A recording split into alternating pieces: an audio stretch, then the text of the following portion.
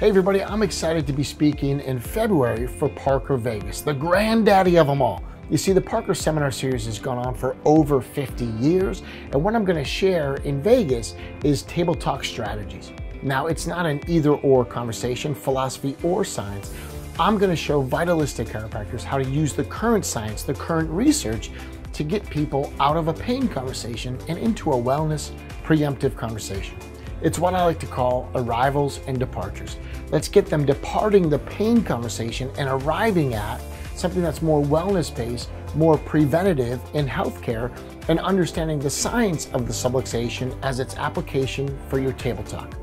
What I'm going to teach the doctors is proper table talk, questions to ask, the science that validates the statements you can make at your table talk. So please join us in Vegas for Parker Seminars, the granddaddy of them all.